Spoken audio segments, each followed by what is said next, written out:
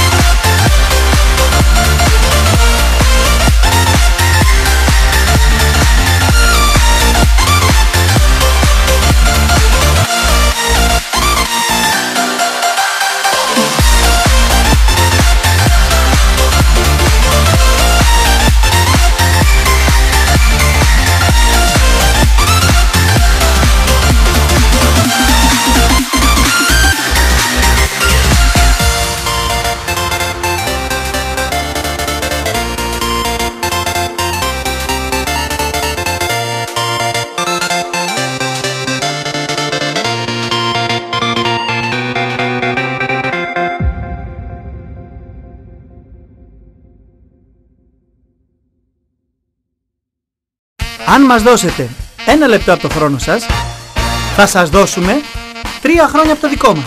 Γιατί στο Δούβρι δεν αγοράζεις, επενδύεις.